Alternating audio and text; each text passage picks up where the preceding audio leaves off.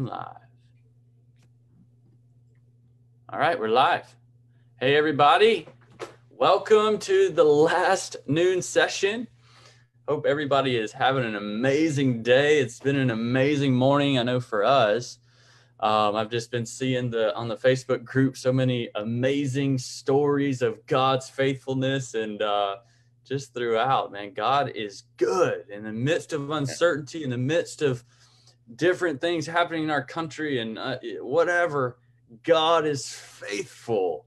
God is so faithful. And I, I'm telling you, I believe as we begin to just praise, as we step, I mean, it couldn't get more relevant to do this three day challenge in the midst of all this than I don't know what else would be more relevant. This is powerful. And so I am so encouraged, so enthused by what God is doing uh, through this through this three day challenge. And, uh, you know, the, the past couple days, we've just had several, several stories of people, people reaching out saying, man, you know, I've, I was headed into such a rough day, began feeling down and all this kind of stuff. And then all of a sudden just to, took a couple minutes and started putting this into practice. And, you know, all of a sudden they, they just say, I felt joy fill my soul. And I'm reading directly from it.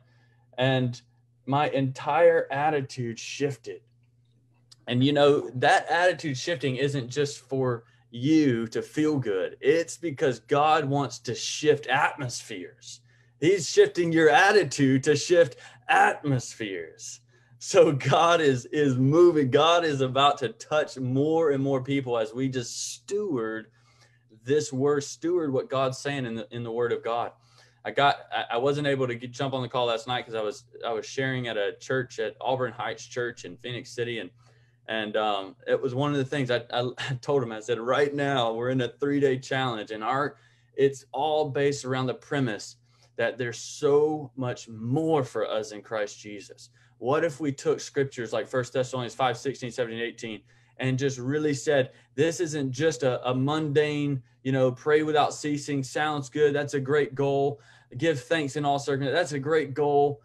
Uh, but you know that that that's not really practical. That is practical. This is real life. What if we took scriptures like, uh, you know, get be joyful always, or or uh, or what's the one in Romans eight? You know, cons- or James says, consider it pure joy when you face trials of many times, of many kinds. You know, what if we really took that and trials we actually began giving thanks for? You know because we know god is taking that trial and working it for us you know all things work together for the good of those who love him. So anyway i am so so excited because today we have pastor paul on the line and we are couldn't be more blessed. I am so excited to have him. He is he has been such a, a mentor for me. I mean, since day one for me, since since day one, and, and day one means before I was even saved. Uh, he's been a, a, champion in my life, somebody who's really just um, poured into me, called out the gold, and constantly encouraged me and and and, and pushed me forward. So I am so excited. He also leads uh, actually a, a, couple different churches in in the uh, all part of Evangel Temple um, in this area. And so we're just enthused to have him. We are talking about giving thanks in all circumstances. Guys, I, I just would encourage you go if you haven't seen the morning message, go check that out um, or rewatch it. Look at it and really uh, just dive into that. Post on the Facebook group. Encourage somebody else. One of the things I said was actually find people in your life that and and look at their life and say what am I thankful for about them and call it out. Go even give thanks for other people, for the people that God's put in your life and encourage them with that. Um, I believe things will shake and we, we raise up world changers through that. But anyway, Pastor Paul, I'm so glad to have you on. And um, I just, I just really honor you and say thank you. It's so exciting to have you today. Amen. Jonathan, yeah. good to be here. And uh, yeah. I do want to say, guys, it's great to join you today. I am so excited to get to share. But I, I, want to say first, Jonathan, I'm just very proud of what you're doing with Spirit and Life University. It's an incredible thing, this three day challenge. I've enjoyed it. Uh, I got to watch Jonathan grow up. uh, and and and come to the Lord as an adult, and uh, just just being able to watch that is such a blessing. His mother is a faithful assistant, and uh, his family's been dear to Pam and I uh, for a long, long time. So what you're doing there, uh, also would take the city. I enjoyed Andrew's message yesterday. Just so excited to watch both these young men just rise up in Christ and, and take their place of taking the gospel to those who need to hear it so desperately. And today, it's, I think, what a, a timely, timely message as we watch our nation divided and all the turmoil that's going on is that this, this idea of rejoicing always, praying continually, and giving thanks in all circumstances is actually what God wants from us. And so today it's it's just an honor to be able to take that that verse 18 and talk about what it means to give thanks in all circumstances. And so I, am just going to uh, look in the word and, and, really there's really a big point that I think that needs to be made uh, right up front. And, and that is that Paul is not saying that we should give thanks for all circumstances. All right. That's not what he's saying. It's a big difference. He's saying we should give, God wants us to give thanks in all circumstances. All right. That's a big difference. And we can do that because we know that God is sovereign over all of our circumstances, everything. Now, we may not understand what happens or why it happens, but we trust the Lord with all of our heart. And that's the reason it kind of brings me to the second thing. That's why we can give thanks in all circumstances because we know that God is faithful. We know He's sovereign. And we, even though we don't understand Him, we know that we can trust Him. Now, I want to take a, a moment here just to kind of unpack that a little bit because we've been through a really tough season uh, this year with COVID and, and all the social unrest and and people have lost loved ones. I just I just got back from the hospital a few hours ago. One of our faithful, faithful saints went to be with the Lord suddenly, and and the way hospitals are now, you can't get to people. And so I just I think about all the people this year that have have really struggled and have faced things in such isolation. And so I, I really want you to understand we're not just nonchalantly saying give thanks in all circumstances and just be joyful what we're saying is there's a deep understanding and a trust of God that enables you to still thank Him even when you're going through a really, really hard, hard time. Maybe the dark night of the soul for your life. You can still thank Him. And here's one of the keys, all right, of thanking Him. It's this one of the keys I have found is just remember back if you're going through that dark night of the soul or you're going through a really hard time, just begin to think back on all the things the Lord has already done for you. Just remember his faithfulness. Just write that down and just start jotting things down because when you're in that really dark time or really tough time, just start jotting things down. Just just think about all the Lord has provided for you in times. Uh, miraculously when he provided. Maybe, maybe you'll remember a time the Lord healed you when you were sick. Maybe I, will tell you another really great one that I that really helps me. I just start thinking about the people that God has brought into my life. My mother, my father, my wife, my children, my grandchild.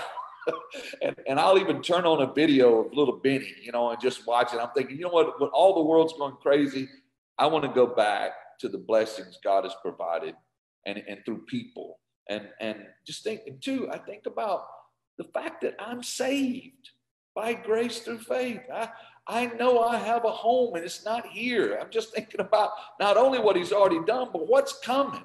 And so that begins to just open the door for thanksgiving to flow. It's a natural door opener, just remembering what he's done. I often say around here if the Lord doesn't do another thing, if he says, Paul Thomas, that's it, I'm not going to do another thing for you. I have more than enough to praise him for eternity. I have more than enough. I, I, he doesn't have to do another thing. I can praise him for eternity. He's already done enough for that. So as you think about that, I think it will help you. And it, it also reminds me of the trap we can get in if we don't open that door to remember what the Lord has done. uh, what we begin to do if we focus on our problems or focus on our lack or begin to focus on all the things that are going wrong, we can actually develop what I call an ungrateful spirit, a spirit of ingratitude. And uh, like the 10 lepers, you remember Jesus, when they begged Jesus to, to heal them, Jesus healed all 10, but only one came back and thanked him. And he said, Where are all the others? Uh, and, and it was noted that, that the nine others had a spirit of ingratitude. I mean, leprosy was a death sentence back then. And here Jesus has healed them, and only one came back. I think that's a lesson for us to watch out and be warned. Don't fall into that spirit of ingratitude. It's a it's a sinful spirit where we just literally get so self-focused on what's going on in our little world that we forget the blessings of the Lord. And actually, I believe Jesus followers ought to be the most thankful people on the planet. We really should be. We should be known for that. We should be known. Oh, there, there goes those people that are just so thankful for everything. I think that should be the thing that defines us in this time. And so I just want to encourage you, begin to open that door. And, and really kind of brings me to uh, what I, I heard Billy Graham say one time. He said, Nothing turns us into bitter, selfish, dissatisfied people more quickly than an ungrateful heart and nothing will do more to restore contentment and the joy of our salvation than a true spirit of thankfulness. He's saying that spirit of thankfulness will overcome that spirit of ingratitude every time if we'll just begin to open the door to thanking the Lord for what he's done. I like what David wrote in Psalm 9. I, if I could think of one person who's known for being a thankful person, it's King David. And he wrote this in Psalm 9. He says, I will I will give thanks to you, Lord, with all my heart. What a powerful statement. I will give thanks to you, Lord, with all my heart. I will tell of your wonderful deeds. I will be glad and rejoice in you, and I will sing the praises of your name, O Most High. I tell you, when you begin to have that attitude, I will praise the Lord. I will give thanks. I'm not going to let anything that happens in this world rob me of, of that thankfulness I have with the Lord. And it kind of brings me to the third point, and that's this is that when we choose, when we choose as a mindset and, a, and what I'll call a heart set, if we choose to give thanks in all circumstances, it actually opens the door for the Lord to do miraculous things in our life. It really is. It just opens the door, and not only in our lives, but in other people's lives. And, and I really want to talk about what Paul and Silas went through in Acts 16. Because if there was anybody who had a reason to stop and, and not give thanks at that time, it would have been Paul and Silas. Paul had, had gone, he had actually taken the gospel to a new continent when he crossed the Aegean Sea and went into uh, in, into this new continent when he when he went into Philippi. And uh, so so it's a huge thing. But when they get to Philippi, Paul cast this demon out of this young slave girl, and the owners raised a ruckus. They were arrested and they were, get this, they were beaten severely. Now they were, they were uh, arrested unjustly. They were beaten, not just a light beating, but a, they were beaten within inches of their life. They were beaten severely. They were stripped for the first thing. So they were humiliated in public. They were beaten almost to death. Then they were thrown into the what they called the inner cell. That was the highly guarded cell and put in stocks and chains. All right. Now imagine that. You've been unjustly arrested, you've been beaten, and now you're thrown into jail, and and and they're there and they have a decision to make. And I don't know who made the choice. I have a feeling one of them just started humming a hymn, a song of praise. And it says that around midnight, Paul and Silas began to pray and praise the Lord. And there's a note there in that scripture. It said the other prisoners were listening. Note that. See, when you and I decide to give thanks in all circumstances, other people hear us. They hear what we say, they hear our tone of voice. They also hear us when we're ungrateful.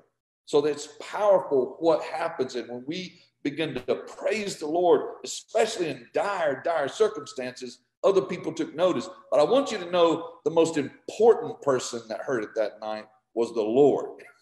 And, and because Paul and Silas chose to praise him during this time, God did something miraculous. He literally shook the earth so hard that all the cell doors flew open and all the chains came off of the prisoners. But get this the prisoners didn't run out of the jail, they ran into the inner part where Paul and Silas were. They ran to them. It was like they were saying, you know what? I want what those guys have. Something is in them. I want, they were drawn to them. And I believe Paul and Silas began to lead those guys to the Lord. Well, the jailer hears the commotion and comes in and he sees all the other cells empty. So he's going to fall on his sword. And Paul says, No, no, don't. We're all here. And so he comes in and he asks a peculiar question. This is why I believe Paul and Silas were leading the other prisoners to the Lord. He said, What must I do to be saved? Well, who said anything about being saved? Paul and Silas were leading those guys to the Lord. They were getting saved. And now the jailer says, I want to be saved.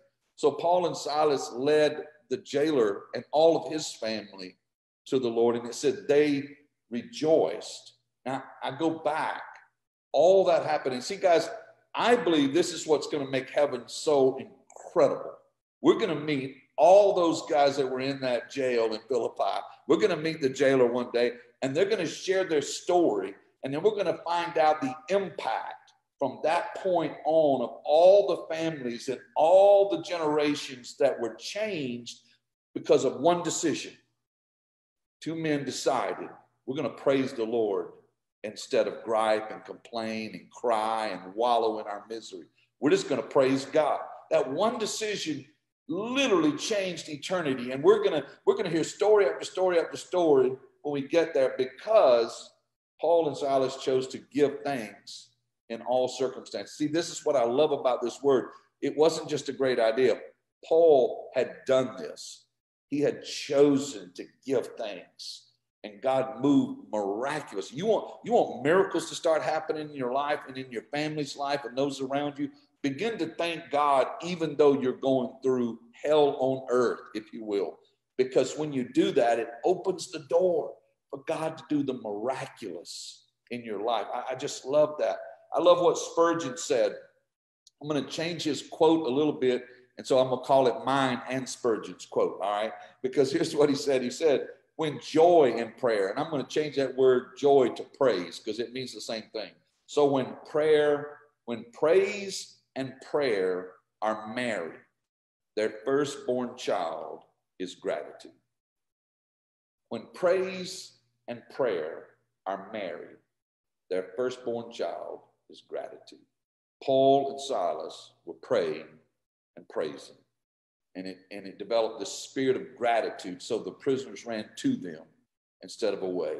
And I'm going to tell you something. I, I think this is so powerful, guys because I believe with all my heart that so many people in this world are held prisoner to their feelings and what's happening to them. And they don't know the one true God who can allow you to give praise no matter what you're going through. The one true God that can give you joy in the midst of pain. The one true God who can deliver you from your feelings and you go on what you know, not how you feel.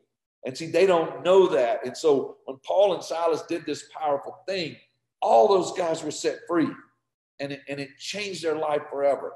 And I just want to encourage you when we decide, as we kind of review, when we decide we're going to give thanks in all circumstances, not for, but in, because we know that God is sovereign and powerful and in control. We may not understand him. I say it all the time.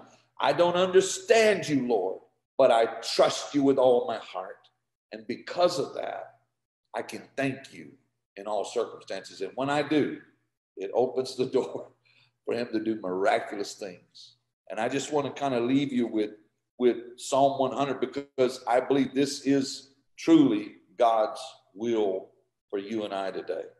Shout for joy to the Lord, all the earth, no matter who's elected, no matter what is going on around. Shout for joy, all the earth.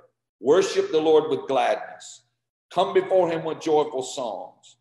Know, not just think, but know that the Lord is God. He is sovereign. It is he who made us, and we are his people. We are the sheep of his pasture. Enter his gates with thanksgiving, enter his courts with praise, and give thanks to him. Praise his name, for the Lord is good, and his love endures forever. His faithfulness continues through all generations. You know, if there's one thing I want to teach my children and my grandchildren, is this the Lord is faithful through all generations. So you can surely give thanks to him in all circumstances. And I, I love this. I know it's what God wants for you today. He wants that for me today. I believe He wants it for every person in this world to be able to say, I thank you, Lord. I praise you and I thank you right where I'm at. I'm not going to wait till it gets better. I'm going to thank you right now, right where I'm at. And that definitely, definitely opens the door for Him to work in us. So I pray that's a blessing to you today. Jonathan, again, thank you for allowing me to share. And I just pray that the Lord will, will bless those who have heard today. Hallelujah. And, and, and thank you so much. I, I just feel like there was such a powerful, um, just even impartation, just a, a, a thing that um, you spoke and it activates things in people. And it, even for myself, I feel like it activated, it caused m- my spirit to, to rise up. And uh, would you just pray over us? I mean, I just want to, I just want us just to re- get in a place of receiving because this is, this is such a powerful word. And, you know, one of the things you said was when you choose to give thanks in all circumstances, it opens the door for the miraculous in your life. Mm-hmm. And in the midst of this election, in the midst of all that's happening, you know, there is a powerful place when you say, I tr- choose to trust God. Amen. I choose to give thanks. I choose to believe that God, eh, you know, nobody has authority except for which God has given them. And I choose to believe that God can take all things and work it for our good. And, and there's a powerful place I just feel like we're in right here, and we need to receive for the sake of many around us. So, yeah, if you just pray for us. Lord, thank you. We thank you right now, Lord. And again, I'll say it. If you don't do another thing, we yes. have more than enough to thank you for. Oh, yes, God. You are so good. Your love endures forever. You are faithful. And even as we walk through a fiery trial, Lord, yes. our hearts are full of gratitude, Lord, because we know you know all things, Lord. And we, we can thank you right now, even for what you're going to do in the future, Lord. We don't know how things are going to work out, but with confidence, we can bring our needs to you with thanksgiving because we trust you, Lord. You're faithful. You know all things. Oh, yeah. Lord, you love us like no one else, Lord. And you're able to provide, Lord. You know when we, even when we ask for something we don't need, Lord, you already know that. So you're able to give us what we truly need, Lord, not just what we want. And we we just praise you for that, Lord, because we know, we do know. It's it's like Paul said, we know in our hearts that in all things you work for the good of those who love you yes. and are called according to your purpose, Lord. We are your children, the sheep of your pastor. We will follow our shepherd. And even though we will walk through the valley of the shadow of death, we will not be afraid, Lord. We will not fear because you are with us, Lord. You're right there. You yes. promised you'd never leave us or forsake us. And we just walk by faith, Lord, and not by sight. We know there's turmoil. We know our nation's divided. Yet we give you praise, sovereign Lord. Yes, God. You are the King of Kings yes, and the God. Lords, and you will provide Hallelujah. according to your riches Thank and glory. And we just bless you for Hallelujah. it. We praise yes. you for it. As a matter of fact, Lord, I go ahead and praise you for the outcome of all elections. Yes. And I pray you'll put a spirit of unity within your people, that we will Yeah. lift our leaders up and pray for them, whoever they on. may be. We'll pray for their families and we'll ask that they would hear from your spirit, Lord, as they make decisions that affect our nation. Yes, God. And our trust is in you, Lord, Yes. you alone. Hallelujah. Glory. We glory. We look ahead, Lord, and we Thank do not you, wring our hands, but we ring the doorbell of heaven and we say, Here we are, Lord. We're Yes. your children. And we trust you with all of our heart. In Jesus' name. Come Amen. on. Yes. Yes. And I just I just feel the anointing. I feel the Lord saying that some of you have been pressing in for a miracle. And Yes. what he he doesn't Pastor Paul just felt what the Holy Spirit told him to say. And I felt like some of you have been pressing in for a miracle in these past couple days. And today is about the day of thanksgiving for your request that's already done in. Jesus' name. Today is about that day. It was rejoice. We step into his courts with praise, and then we step into prayer and we submit our requests, but then we give thanks for what God is doing and has done in our life. So I just declare in Jesus' name a spirit of thanksgiving Yes. over every person for the answered prayer in the name of Jesus. Hallelujah. I thank you, Lord, for every single person. Miracles are taking place in Yes. Jesus' name. Even right now, bodies are being healed. Even right now, mental illnesses are being healed. Yes. Depression's leaving in Jesus' name. Even Yes. right now, people are discovering more purpose in life in Jesus' name. Even right now, your power is coming over your people to begin radically thanking you and begin praising you because you are the Lord and you are the one who fights our battles in Yes. Jesus' name. Hallelujah. Hallelujah. Yes, Lord. Thank you, Jesus. Well, thank you. Hallelujah. So, guys, please share what maybe the Lord spoke during this time. Just if you're in that place right now, just feel free to cut off and just keep pressing into that place. But I want to encourage you to share with somebody what God is doing right now. Share with them about the answered prayer. Share with them. It says, believe that you have it and it shall be done. Yeah. So so share with somebody, tell them what God's doing for you, and let's press in together. And we're believing for this nation. We're believing for a greater move of God than ever before right now, and it's not out of reach. We are believing for it, and it will come to pass in Jesus' name. So thank you, Pastor Paul. Thank you for being here. Uh, we love you. Is there any announcements or anything you want to share with the with everybody? Or No, I just, Okay. uh, you know, coming up on Thanksgiving, this is a really good season to be thankful. So thanks again, Jonathan, for letting me join. Praying for everybody and uh, that's taking part in Spirit and Life University. Just praying the Lord blesses you. awesome. Thank you, guys. Y'all be blessed. Have a great day.